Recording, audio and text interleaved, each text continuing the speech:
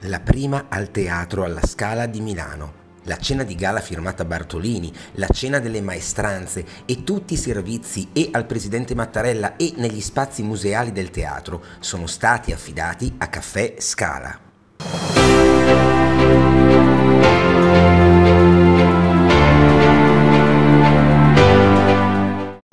Per noi è un grande evento, soprattutto quest'anno che festeggiamo il decimo compleanno e come tutti gli anni cerchiamo di portare in tavola quello che è l'ultimo atto dell'opera. La cena di gala è questo evento molto importante in cui si crea un evento sartoriale in cui anche gli allestimenti delle tavole, le scenografie rispecchiano un po' quello che è il palcoscenico. E per questo evento tra sommelier, camerieri, chef sono circa 100 persone che lavorano ininterrottamente da due giorni.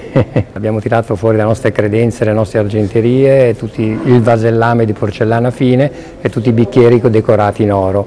Tutto questo per richiamare un po' l'opera, diciamo la tosca. Ecco.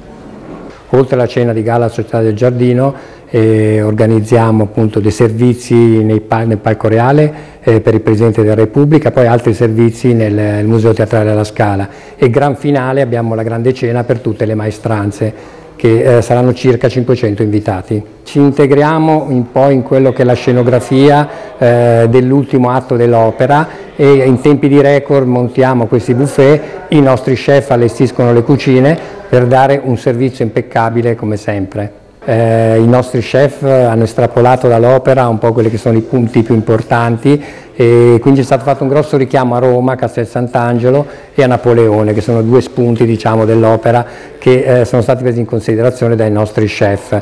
Pertanto serviremo appunto dei, un cacio e pepe romano che è un tipico piatto che Puccini eh, amava gustare e poi faremo un pollo alla Marengo in, in onore di Napoleone e poi naturalmente faremo un, gran richiamo, un richiamo alla grande Milano col panettone classico e, e tutte le varie libatezze.